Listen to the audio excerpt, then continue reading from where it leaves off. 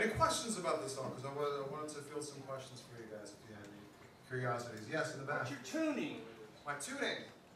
So this is what probably 60 to 70 percent of our songs are based in.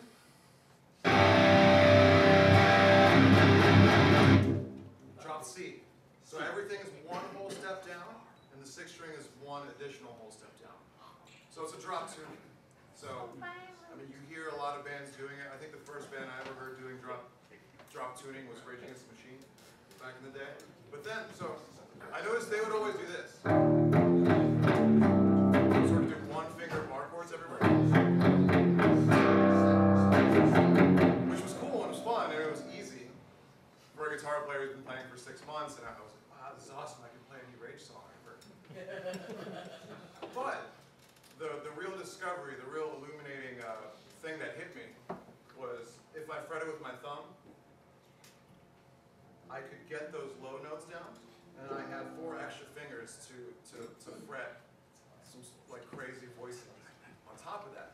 So, instead of this chord, I would start experimenting with something like.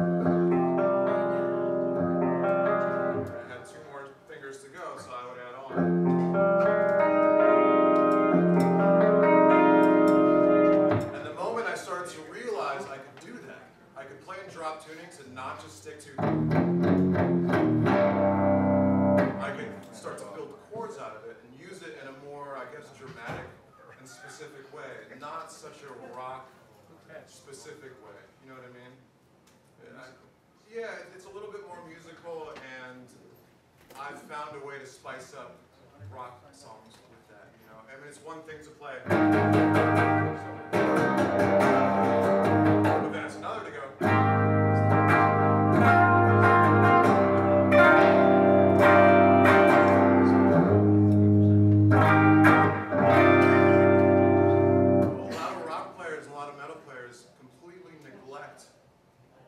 Higher register, or what they're doing in these upper voicings, because it tends to get washed out, frankly, by the kinds of pickups they're using. There's a lot of really gain-heavy pickups, and I won't name any brands. They start with a letter. No, I'm not even saying that. Don't go there, they're internet. No. Don't, don't go there. Yeah, nobody film this. No, it's being filmed, you can't Yeah, stop okay, it. okay, okay. Um, what I look for in pickups is that ability to get those high gain tones with your right hand. What I mean is this. So listen to this. This is a pretty caveman sounding tone.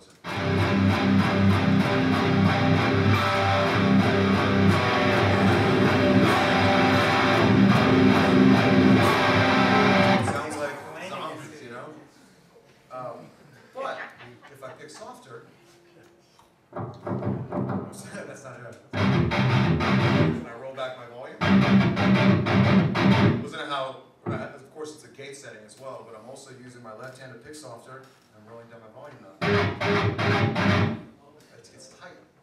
And that's where a lot of the percussive, more like punchy, unmusical, granted, but still, you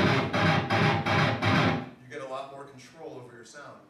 And uh, that's something that was integral we were respecting the pickups and the guitar itself. So it, it was supposed to be able to handle that wide range of uh, types of tones, as well as the clean stuff that you guys heard in the last song. Yeah. So does anybody else have any questions before I move on? Mark, Doesn't bother me. I love the, the, the, ri- the uh, percussive nature of a lot of the stuff that you do. Yeah.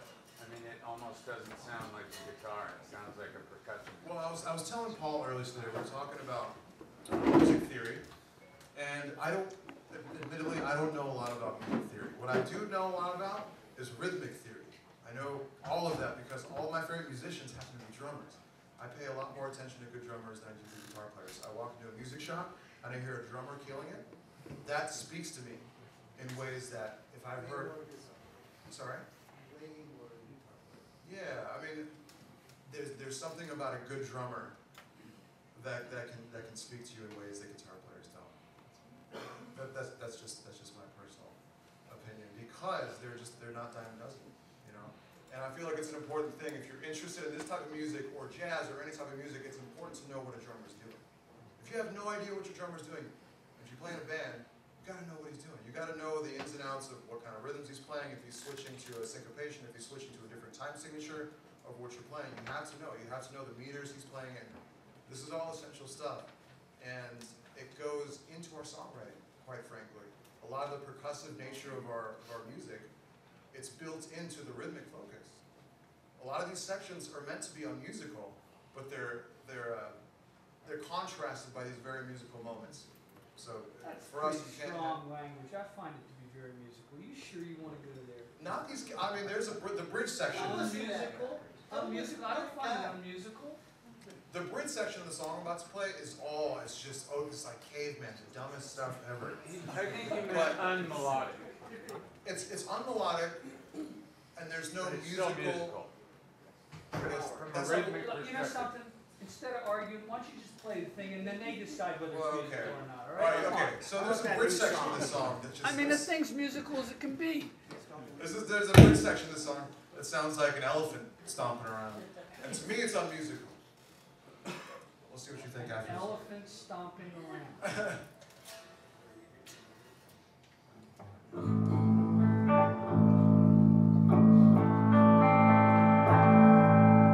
song's in drop A tuning. Uh, and I'm playing this on a 25 and a half inch scale uh, guitar. So this is why I have the scaling to accommodate this tuning. It means you can do uh, octave chords with a power chord shape on the low strings.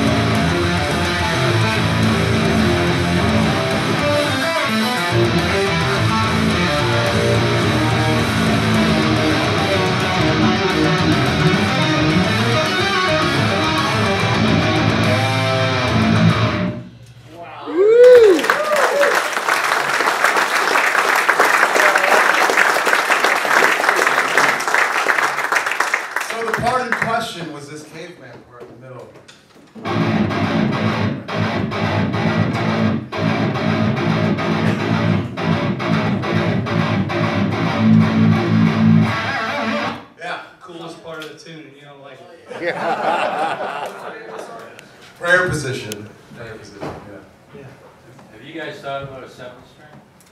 we make them. We make them. Yeah, but this, this is, uh, this is from my own personal collection. Uh, they make an SE seven string. This one's about an inch longer on the scale. Uh, I think one's worth, I made seven.